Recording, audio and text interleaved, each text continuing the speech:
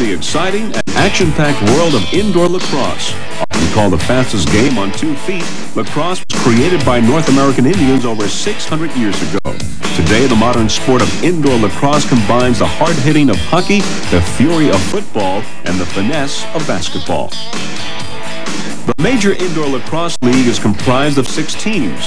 The New York Saints, Philadelphia Wings, Detroit Turbos, Baltimore Thunder, New England Blazers, and the Pittsburgh Bulls. Last year, the MILL attracted over a quarter million fans to this exciting, fast-paced sport. A sport that hopes to score big in the 1990s.